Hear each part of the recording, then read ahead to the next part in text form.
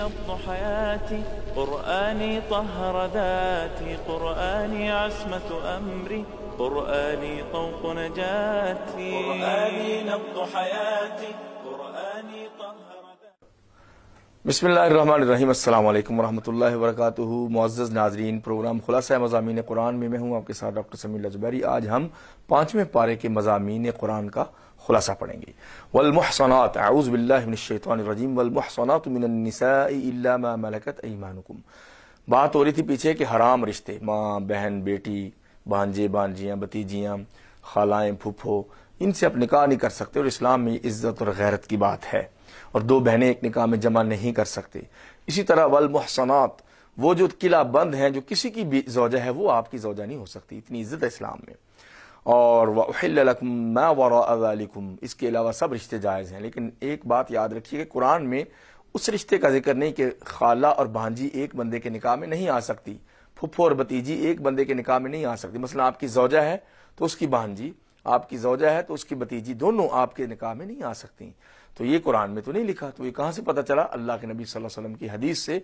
लिहाजा कुरान के साथ अहादीस में भी कुछ चीज़ें हलाल और हराम होती हैं।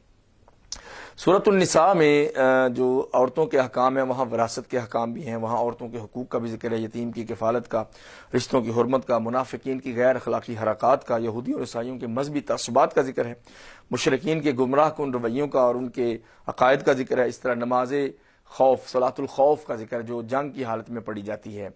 उसमें इमाम खड़ा होता है, पीछे एक सफ में मुजाहिदीन खड़े होते हैं, जो लड़ने वाले हैं, फौजी हैं वो जब एक रखत पढ़ते हैं तो वो चले जाते हैं, फिर दूसरे आते हैं, दूसरी रकत पढ़ते हैं, इमाम जो दो रखते पढ़ाता है। और पीछे एक एक रखत पढ़ के फिर जंग में चले जाते हैं। जंग में भी नमाज़ माफ़ नहीं है। और इसी तरह जो मुकर्रा महर है, उसका ज़िक्र है शराकत की तजारत, मियाँ बीवी के तनाज़ात। मियाँ बीवी के तनाज़ात का हल है। और अगर कोई हल ना निकले, आपस में सुलह करवाने वाले फेल हो जाएँ तो इन तफर्रका युगनिल्लाकुल्लमिन साती ही अगर दोनों वो अलग अलग हो जाएँ तो अल्लाह उनको अपनी वसतों में से गनी कर देगा।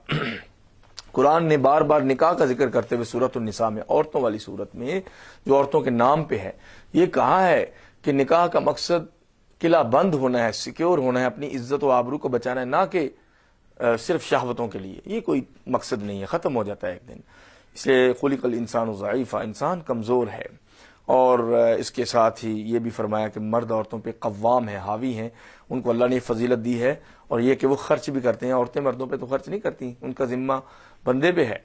और इसी तरह के अगर तुम आपस में दोनों के झगड़ों से डर जाओ हर तरीके से आपने समझाया वाज व नसीहत से बिस्तर अलग करके और थोड़ी सी जो जो मार की इजाज़त मिली है, उसके बाद भी अगर आप बीवी फरमा बरदारी नहीं करती और आपका निभा नहीं होता वो इन खिफ तुम शिका का बेनी ही अगर दोनों में आप बहुत ही सख्त लड़ाई से डर गए, यानी इख्तलाफ होना ही होना है फब आसू हकम मिन अहली व हकम मिन अहलिहा। फिर मियाँ बीवी आपस में नहीं बात करेंगे, फिर इसकी दोनों की तरफ़ से एक एक हकम आर्बिट्रेटर वो आएगा, और वो सालिस आएगा, यूरीदा इसलाह व फ़िक्ला बेन दोनों सालिस अगर इसलाह की काविश करेंगे कोशिश करेंगे तो अल्लाह दोनों मियाँ बीवी में तोफ़ीक पैदा कर देगा, यानी मुआफ़त पैदा कर देगा। इन अल्लाह कान खबीरा, अल्लाह अलीम खबीरा साथ ही फरमाया वाह अबुदुल्ला वला तुशरिकु भी शैया अल्लाह की इबादत करो, इसके साथ किसी को शरीक न ठहराओ। यानी जहाँ ज़िंदगी के घरेलू मामला है, वहाँ अकीदे की बात भी है। ये नहीं है कि अकीदे से हट के आप घरों को चला सकते हैं। इस तरह तयम का ज़िक्र है, अगर पानी ना मिले तो तयम कर सकते हैं। और अपने आप को पाक मत करो। तुमने नहीं मत कहो, तुमने ये, तुमने उन लोगों को नहीं देखा? अल्लाह जीना युजक्कून अनफुसहम, जो अपने आप को बड़ा पाक, साफ़ हाजी कहते थे। बलिल्लाह युजक्की मैशा अल्लाह जिसको चाहे पाक पाक कर देता है। और जिब्त और तागूत, ये जो गलत कुफार के फैसले हैं, इनको हम नहीं मान सकते। जिब्त और तागूत जो हैं बुत परस्तों के फैसले हम नहीं मानते, बल्कि हमारा अपना अकीदा और ईमान है। और अमानते उनके अहल को वापस लौटा दो। और इतात करो अल्लाह उसके रसूल की, अगर तुम्हारा कोई तनाज़ा हो जाए किसी चीज़ में, फ़रुद्दू रसूल तो फिर तुमने उसको अल्लाह और उसके रसूल की तरफ़ लौटाना है। ये दोनों अथॉरिटीज़ हैं जो फैसला कर सकती हैं। और नबियों का मकसद ये होता है कि उनकी इतात की जाए। वह अरसल्ला रसूल इज़्निल्लाह कि पैगंबर तभी हमने भेजे हैं ताकि अल्लाह के हुक्म से उनकी इतात की जाए। वमन रसूल फ़लाजीन मिनबीन वसद्दीकीन वशहदाई वसालहीन वहसन उलाइक रफ़ीक़ा। बार बार नबी की इतात का इस सूरत में क्यों हुक्म है? क्योंकि मामला में जब इख्तलाफ होते हैं तो हम अपनी मर्जियाँ करने लग जाते हैं। और यहूद नसारा का इसमें तस्करा है सूरत में, क्योंकि वो नबियों की इज़्ज़त नहीं करते थे। इसलिए बार बार ज़िक्र है कि जो अल्लाह की इतात अल्लाह के रसूल की इतात करेगा, वो अल्लाह की करेगा। और मोमिनो इकट्ठे निकलो जो अलग अलग जंग जंग की, जंग के अहकाम हैं, और जो अल्लाह के रस्ते में शहीद हो जाते हैं और कत्ल करते हैं, कुफ़ार को जो जंग के दौरान, वो अल्लाह के रस्ते में हैं, और कुछ लोग हैं जो ताबूत के लिए लड़ते हैं, अपने बुतों के लिए शैतान के रस्ते पे हैं वो। और शैतान की का कैद कैद यानी शैतान की चाल जो है, वो बहुत ही ज़यीफ़ है। और जहाँ भी तुम जाओगे, तुम्हें मौत आ लेगी। यानी जंग का ज़िक्र करते हुए मौत का तस्करा और ये कंपैरिजन किया है कि जंग की मौत मौत नहीं है। शहीद की जो मौत है, वो कौम की हयात है। वो शहीद को बुरा ना कहो, शहीद को मुर्दा ना कहो, वो ज़िंदा है। फिर इसी तरह अखलाकियात का ज़िक्र है कि सिफारिश जायज़ है। सिफारिश करना जायज़ है, मगर जायज़, सही सिफारिश। मई अशफा शफ़ातन हसनतन यकुल्लहू नसीब मिनहा। जो अच्छी सिफारिश करेगा, उसका अच्छा बदला मिलेगा। वो मई अशफा शफ़ातन सही जो गलत सिफारिश करेगा, मैरिट का कत्ल करेगा, मैरिट को खराब करेगा। यकुन लहू किफल मिनहा, उसका बोझ उसी पे पड़ेगा। और जब तुम तुम्हें कोई तोहफा दे या सलाम करे तो उसके अच्छा सलाम वापस करो या अच्छा तोहफा वापस करो। और मुनाफिकों का ज़िक्र है कि जो जंग में पीछे रह गए, जंग में एन मैदान में पीछे छोड़ गए, फरमाया कि उनका तुम्हारे साथ कोई ताल्लुक नहीं है, इनसे हम खुद निमट लेंगे। इनको तुम दोस्त मत बनाओ, क्योंकि ये किसी काम के नहीं है कि इनको दोस्त बनाया जाए।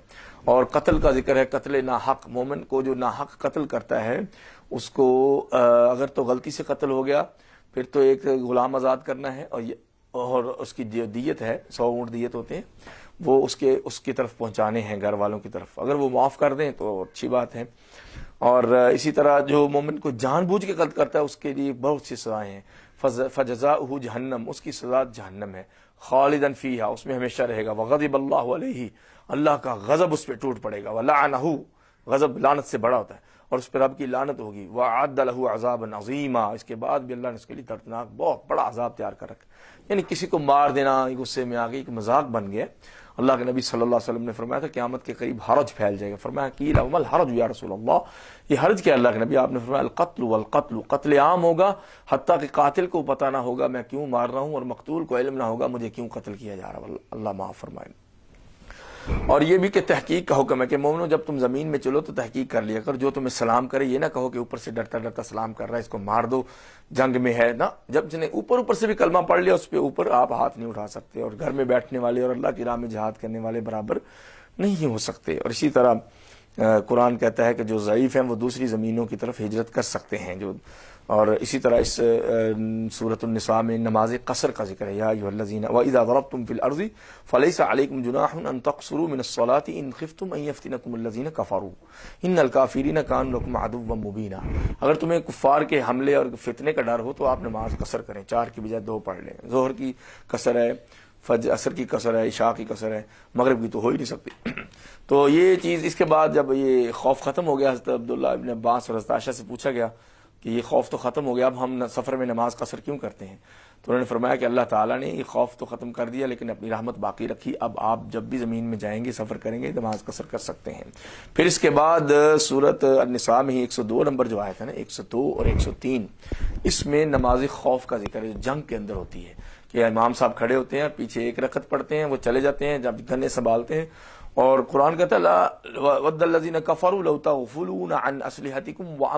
नमाज़ खौफ जंग के दौरान पढ़ते हुए भी असलह तान के खड़े होना है कि अगर अटैक हो जाए तो नमाज़ में आपने जवाब देना है। कि कुफार चाहते हैं कि तुम्हारे असलह और साज सामान से तुम्हें गाफिल कर दें। फ़यामीलून अलैकुम मैलतन वाहिद और यक बार की तुम पे अटैक कर दें। इसलिए अपने दुश्मनों से बंदे को अलर्ट रहना चाहिए। और जब इतमान हो जाए फिर पूरी नमाज़ पढ़नी है। फिर उसी तरह आप जंग में जब सुकून हो जाए तो फिर पूरी नमाज़ पढ़नी है। और अल्लाह का कुरान, अल्लाह कहते हैं, हमने हक से नाजिल कर दिया है ताकि आपको जो हमने दिखाया उसके मुताबिक आप फैसला करें। ये दलील है कि पैगंबर इस्लाम की समझ भी अल्लाह की तरफ़ से है। देखे ना, इन्ना अनजलना कल किताब अबिल हक नबी हमने आप पे ये किताब हक के साथ नाजिल की है। लिताहकुमा बैन नास ताकि आप फैसले करें कैसे? बिमा अराक अल्लाह जो अल्लाह आपको सुझाए। बिमा अराक अल्लाह, जो अल्लाह आपको सुझाए। यानी नबी इस्लाम की जो सेंस है, आपकी जो विजडम है, दानाई और अकल है, वो रब की तरफ़ से हिदायत याफ्ता है। इसलिए कुरान ही कह रहा है कि नबी की हदीस जो है बहुत ज़रूरी है। और जो किसी पे इल्ज़ाम लगाएगा, वो उसी इल्ज़ाम के साथ क्यामत के दिन आएगा। और कुरान कहता है अखलाकियात में कि आपस में जब मिल बैठते हैं तो सरगोशियाँ नहीं करनी चाहिए। सरगोशियाँ करने में कोई खैर नहीं। हाँ तीन बातें हैं। अगर कोई सदका का हुक्म दे या लोगों में, नेकी का हुक्म दे या इसलाह की बात करे तो फिर सरगोशियाँ कर सकते हैं।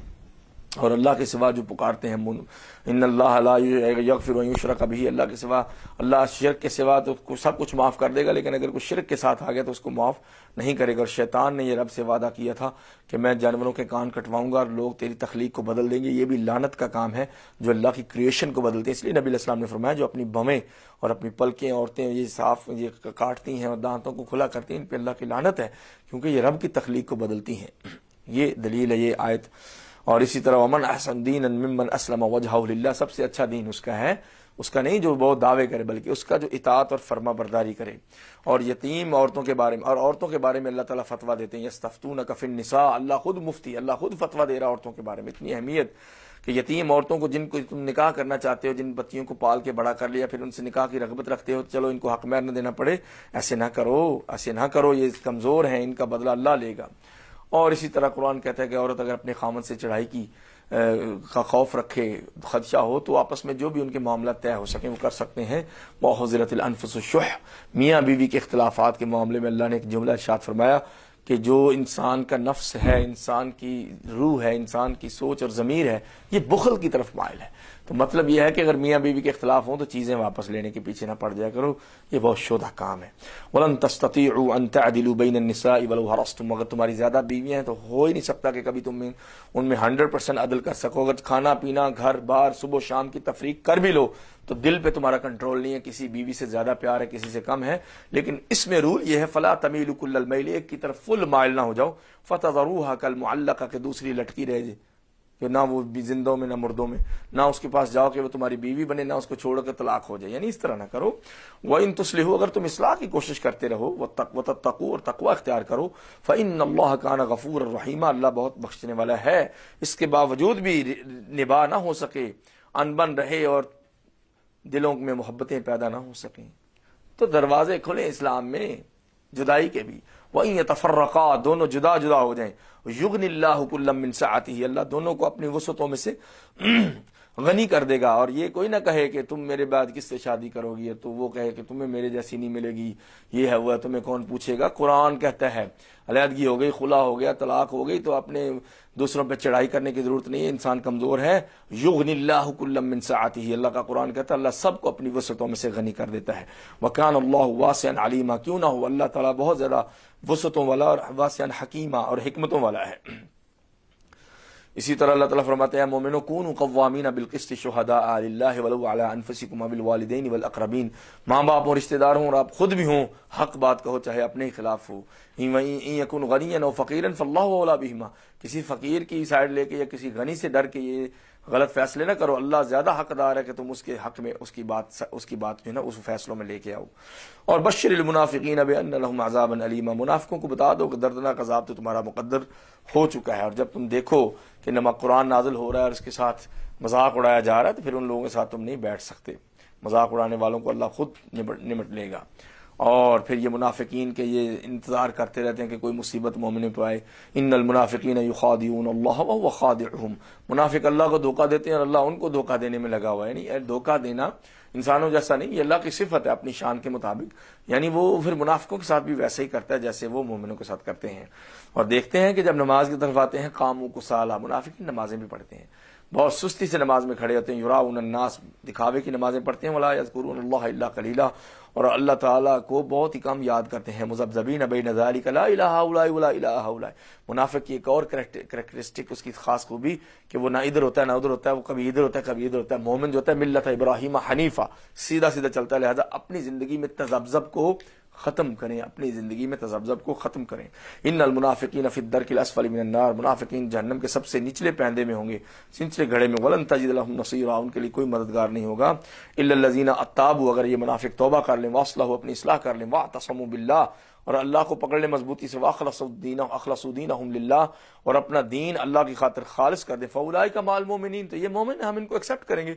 वसफ़ायुतमिन अजर नज़ीम अल्लाह मोमिन को बड़ा अजर देगा। माया फ़ालबिकुम अल्लाह तुम्हें अजाब दे के क्या करेगा? इन शकर तुम आमन तुम अगर तुम तोहीद पर रहो, शुक्र करो ईमान लो वकान अल्लाह शाकिरन अलीमा और अल्लाह तो बहुत ज़्यादा कदरदान और इल्म रखने वाला है। यहाँ पे पाँचवें पारे के मजामी आपसे कुछ शेयर किए। सारे तो हम नहीं हता कर सकते, इंसान कमज़ोर है। नाजरीन, छठे पारे के मजामी आपके साथ शेयर करेंगे। तब तक अपने होस्ट डॉक्टर समीर अजबारी को इजाज़त दीजिए। अल्लाह